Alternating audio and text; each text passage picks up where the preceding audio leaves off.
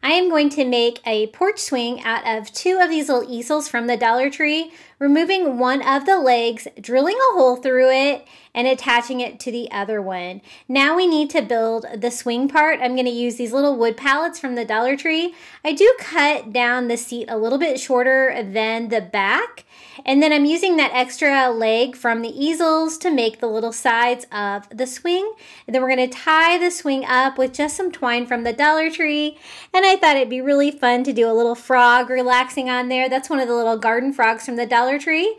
We're going to make some spring pillows with some Dollar Tree craft fabric and then string some little pink flowers along the top to make it look really festive for spring.